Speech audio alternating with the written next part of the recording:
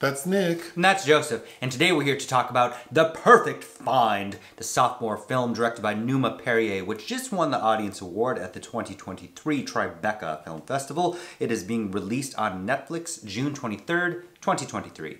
Do you know Numa's first film? Jezebel uh, from 2019. I have not seen it. Sounds very interesting. This film is based on a book. Yes, by Tia Williams from 2016. And it's uh, adapted by Leigh Davenport, whose last feature was Wendy Williams, the movie. Oh, okay. The story After a high profile firing, Jenna's fashion career comeback hits a snag when she falls for a charming, much younger coworker who happens to be her boss's son. As sparks fly, Jenna must decide if she'll risk it all on a secret romance. Jenna's played by Gabrielle Union. Mm-hmm. Her character is supposed to be a 40 year old woman who just got out of a very high profile relationship that lasted 10 years. And was fired as a fashion editor from a very notable outlet. So we find her living with her mother, played by Janet Hubert. As she's been basically like in a slump for a year when her mom convinces her to get up and get back to it. So Jenna moves back to New York and asks for a job from her arch nemesis, played by Gina Torres. Darcy. Darcy. who I think is my favorite part of the movie. Yeah. But Darcy, I mean, it's very like Amanda Priestley, Vanessa Williams, and Ugly Betty. She runs this subscription fashion thing. I'm not quite sure what it is, but it's called Darzine. Mm-hmm. And Jenna is hired as the creative director. Yeah, just she walks in off the street and gets that job. So the night of her getting the job, she goes out to celebrate with her two best friends, played by La La Anthony mm-hmm. and Aisha Hinds, who I also enjoyed. Mm-hmm. And while they're at this like party lounge place, she meets a guy named Eric, played by Keith Powers. And he looks like maybe he's 25, and he says he just graduated from USC with a master's degree in film history. So they're attracted to each other, but it's like, well, you're too young for me. They have like a very mild makeout session in my eyes. She tells him she loves him. Yeah. Which I thought was so weird. But then there's like a mishap because she kind of slips and falls, but it's not that dramatic. She just kind of slips and then she realizes, like, oh, I need to go. She gets to work and her boss Darcy walks in and says to Jenna, I want to introduce you to our new photographer, videographer. Videographer. And it's Eric, who's also Darcy's son. So of course there's that awkward rom-com exchange. Well, we also mentioned that Darcy and Jenna have a, significant history uh, as each other's nemesis, and uh, what's his name, Brian.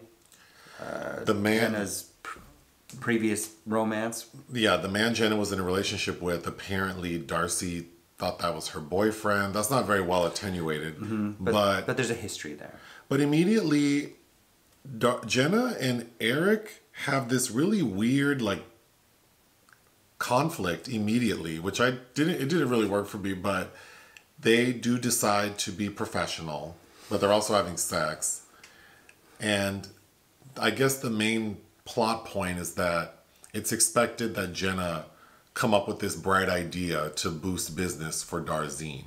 So, so Jenna and Eric come up with this idea to do like old Hollywood looks. Mm-hmm. So there's a lot of time spent on these photo shoots that we can talk about, but it's a success. And it seems like Jenna and Eric want to be together, but then there's a situation where Jenna sees Eric with his old girlfriend and Eric sees Jenna with her old boyfriend. So there's a misunderstanding and they seem to sort of drift apart. But then Jenna goes to apologize to Eric, who lives at his mama's house. This drifting apart business is like a 24 hour period, by the way.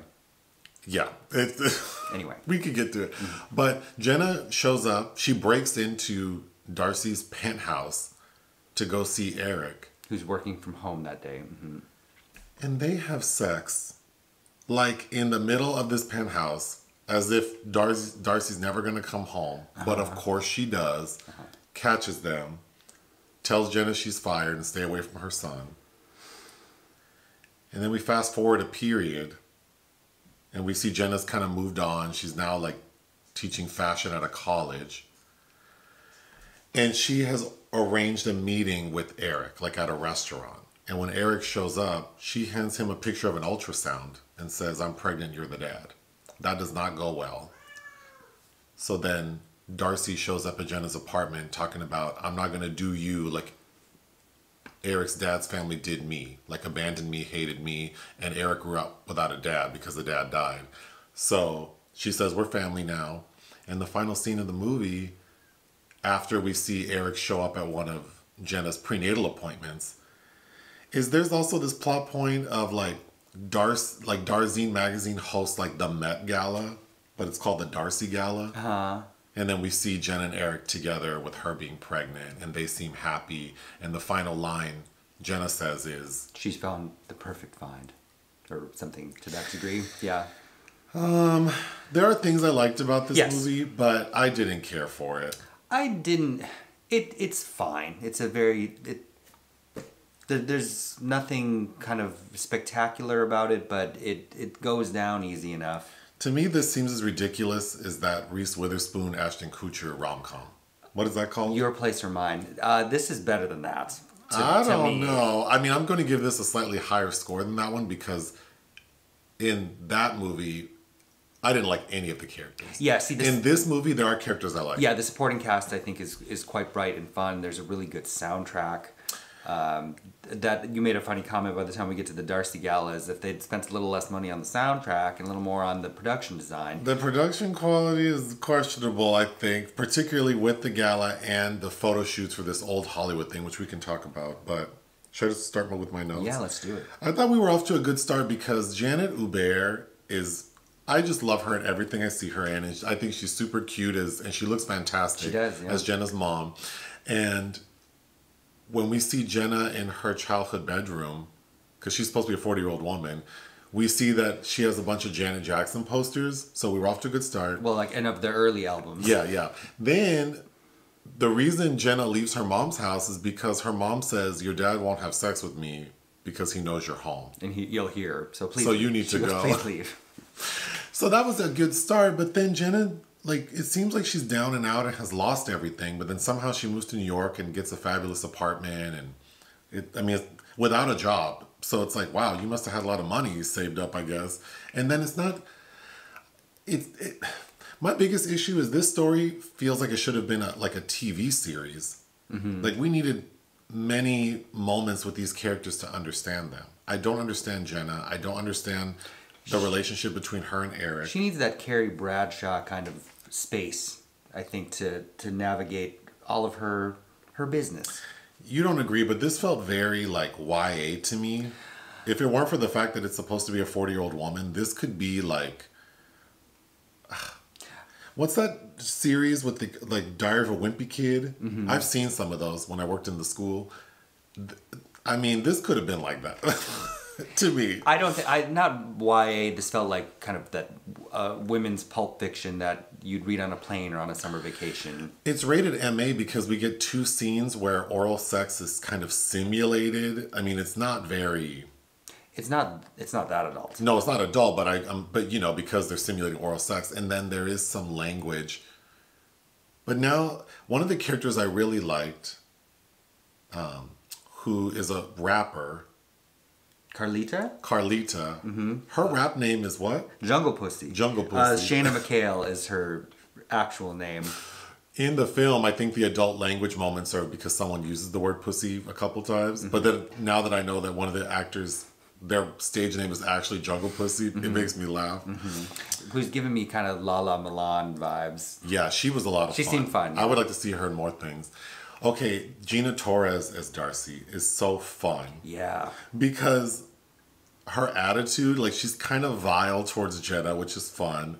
And then she has these moments where she speaks in Spanish randomly, which I thought was funny. And her fashions, they're Oh, pretty yes. camp. Yes, they are. And she's got this fantastic mane of hair. Oh, her hair looks so amazing. Immediate, you know, uh, have you ever seen I Think I Love My Wife? No. She plays Chris Rock's wife. She's very good in that. I. Yeah, Darcy is amazing.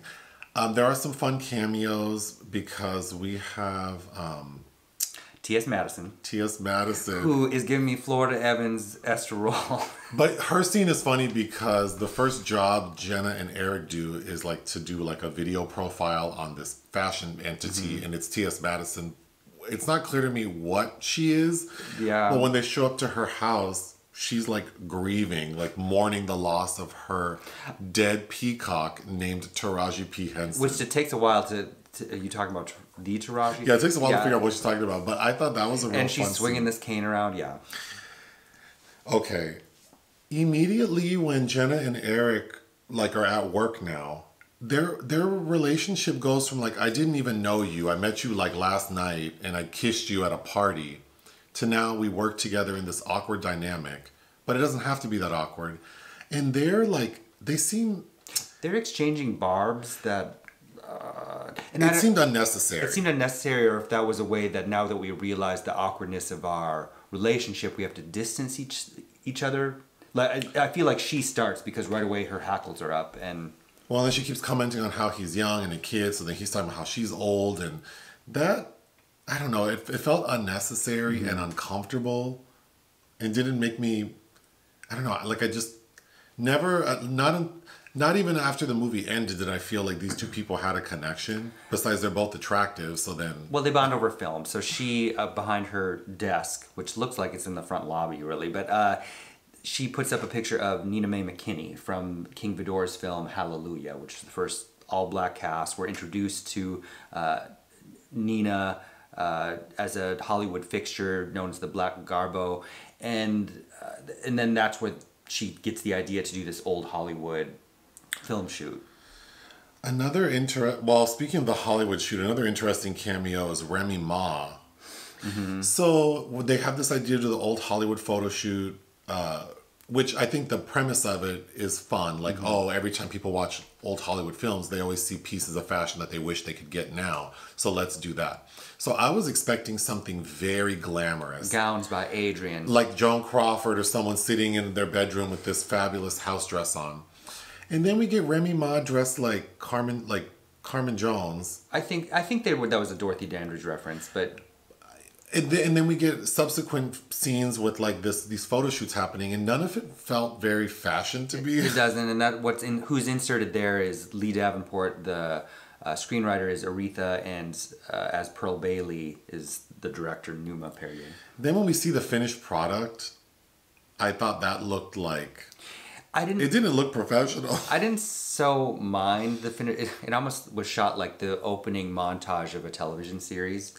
Kind of. Like I, I, I could picture Loretta Devine singing over it. Uh, I just think that for the amount of time we spend on this and their work together, because they, Darcy keeps talking about how they're doing such a jo- good job with their work together, and it's like I don't even understand what they're doing. They're just taking pictures. We get a scene of like Gabrielle Union showing one of the models like to take an umbrella and shoot it like a machine gun. I I didn't understand what that was supposed to be. Um, I thought that was a black exploitation reference, but uh, I, yeah, I'm unclear about what the work is and what exactly it. Uh, the deadline is like 90 days to create something, and the the the old Hollywood montage wouldn't seem so bad except if it wasn't followed by this count of subscriber numbers going up. Yeah, when we see the finished product, then we also I don't know. The set design was odd to me. Like I feel like it's supposed to feel.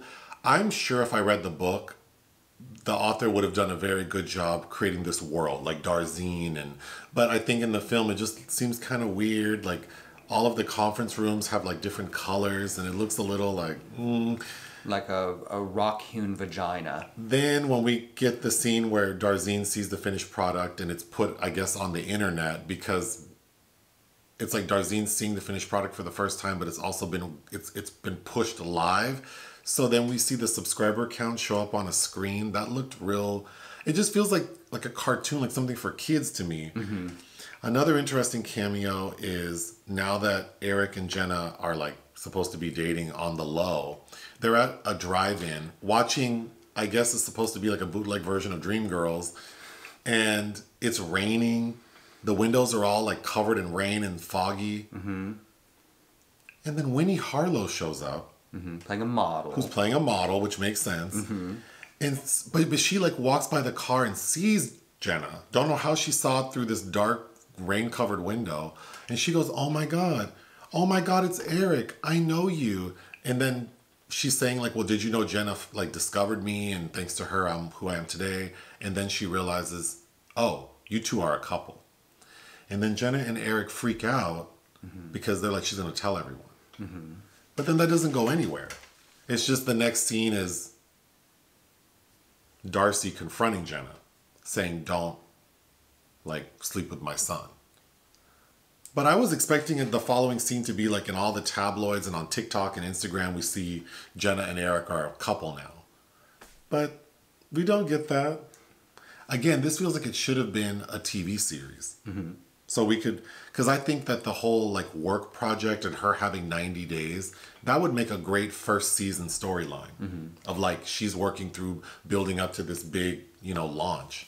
Yes, because I, I think what we're lacking is uh, some interiority for Jenna Jones, which makes her actions seem kind of adolescent and out of left field sometimes. I don't quite understand how she's in love with this person uh, to the degree where she will sacrifice her newly uh, reseeded career. Especially when you just lost your career. Like, very high profile, embarrassing situation with a man and your career. Mm-hmm. Then you jump into this again. And and again, it's not about the keeping it. I can understand all of that, keeping it secret. It's just, you know, she acts insanely jealous when accidentally his ex girlfriend, who looks like a little girl. I mean, what what are you so jealous about? I just don't like in the book. Is Jenna supposed to be so unreasonable? She's really acting like a high school girl, mm-hmm. and I just found it very unappealing.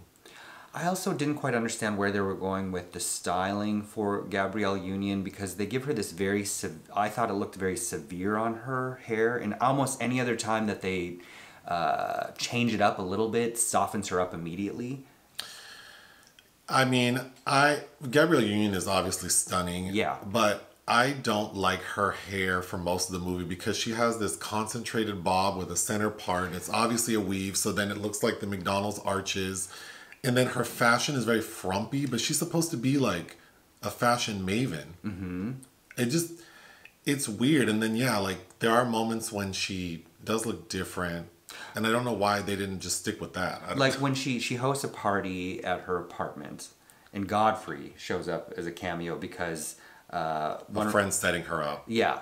And, and he's age appropriate, right? And of course, she ends up not really liking him. I think I feel like maybe Gabrielle Union was miscast in this role. I think she's a little too fabulous, and maybe they're trying to like. I think you, do an ugly Betty situation. Uh, like again, I didn't read the book. I don't know. I feel like I was thinking Radha Blank. Sure, from 40 from forty year old version. She would have been fun because she seems like a forty year old woman, but she also is very vibrant and has a lot of um, pizzazz, and so I could see a younger man being into her and her not really but again, I don't know if in the book Jenna's supposed to be this fabulous woman. Because then, if that's the case, I also don't feel like that was well done in this movie. Well, because it's just like God, you seem so put together in so many ways. But again, the I, not that there can't be the that kind of dichotomy in a person. It's just that I don't. I, I wanted to see a little more of how we're she's navigating that or explaining that even to herself about how she acted this way in certain scenarios. The scene where Jenna sees her ex is the ex has been trying to get in contact with her for the year that they haven't been together, but she's ignoring him. And then one day he shows up at her doorstep, like in the rain, and she's kind of like, I'm scared. Like, what are you doing here? And he says, Well, my mom just died. So she goes, I'm sorry, gives him a hug, and that's when Eric's watching. So all he sees is them hug, and then she walks away with him. And they get into a car. I don't. I couldn't tell whose car it was. She said, she said I'm gonna drive. So I guess he was too drunk to drive or something. But she drives this car, and he lives in this amazing like high-rise building. And she just parks the car, or the car is just parked right in front of the building, like somewhere certainly it can't stay he goes inside and she has an like an Uber shows up without mm-hmm. her. Like we never see her. I don't know. That scene felt so weird, and all it does is demonstrate that she doesn't want the life she had with him anymore. Yes. But was he offering that up? Like they were already. but it, it's such a cliche mistake of uh, a comedy of errors, right? Like what is Eric interpreting that he sees and what is she interpret. Like the, the communication needs to be. I, I, as a 40 year old woman, I would think that her she has learned that she needs to communicate. And this this young man, they've been trying to call each other all day, and he's just I'm just gonna show up and then see something I I didn't think I wanted to see. It's just like I don't know. Lastly, the gala, which is what ends the film that we've been building up to since we met Darcy, that looked. I mean, It just looks chintzy. I bit. wasn't very impressed, but again, there were some things I did like. As a rom com, this doesn't work for me because I don't believe the relationship between Eric and Jenna. I don't see the chemistry. I'm not rooting for them. For as the audience, this shit does not make sense to me. You two should not be interacting. It's unprofessional. It's not gonna go well. The scene where she tells him that she's pregnant is another. Example of her being so like immature. She's. I don't like your reaction right now. It's like, well, could you give him a minute? Hun, we stopped talking, and then you just call me here, and then before you even ask me how I'm doing, you hand me an ultrasound image. I mean, come on, how am I supposed to react? But like, so as a rom com, it doesn't work. As a comedy, I mean, there are funny moments, Yeah, but it's sure. not from the two leads. Not really, no. So- and, and I think that's the problem is because what did we keep thinking of? Something recent, like something from Ti- something from Tiffany's. With the guy from Insecure, I like that movie. Like, like, because even though that's a really cheesy film, it's like you are led to want these two people to connect. I wanted them to be together. Mm-hmm. I felt like they were cute together and they both deserved each other. Yeah, this one is like nothing about this makes sense. I'm not rooting for them. But anyway, what would you give this movie? Um, you didn't want to talk more about the soundtrack. Oh, well, so th- the soundtrack is very impressive. It opens with Billie Holiday, There's some SWV in there, some Aretha. Tisha Campbell. Uh, I think there's some Bruno Mars in there. It's really good. But I also found it distracting. Because, like, yeah. I mean, there are scenes like, like, I think the first time Eric performs oral sex on Jenna, like the SWV Weak song is playing. yeah. That felt like a mismatch that took me out of whatever was happening. Then the score, there are moments when it feels like It's trying hard. We're, leading us into comedy here, and it's like, well, Yeah, maybe. that's all I have to say. Sure. Uh, but uh, shout out again to uh, Leah Daniels Butler, who's the casting director. Yeah, good for her. Now she's, that- staying, she's staying busy. Yeah, she Yeah, is. now that we know who she is. what would you give this movie? Uh, two and a half. I would give it two out of five. I'm sorry. Anything else? No. Hit the thanks button. Listen to our podcast. Bye. I'm sorry.